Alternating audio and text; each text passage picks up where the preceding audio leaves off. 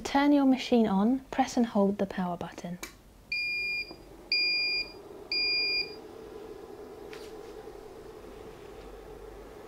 To adjust gain, you turn the knob here. To change your depth, use the function knob here.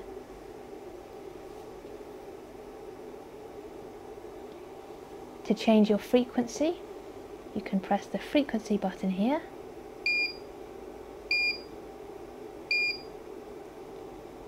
Perform gestational age calculations, get your image on screen freeze and press the OB button. You can then use your tracker ball to select your species, pressing set to select. And then choose the appropriate gestational age calculation for the stage of pregnancy.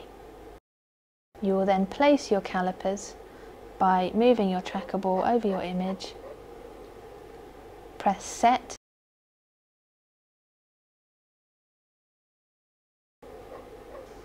Then move your cursor to the other point and press set again.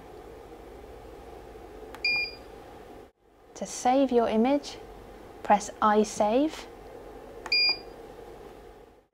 And to review your images later, go to review. From here, you can export your images.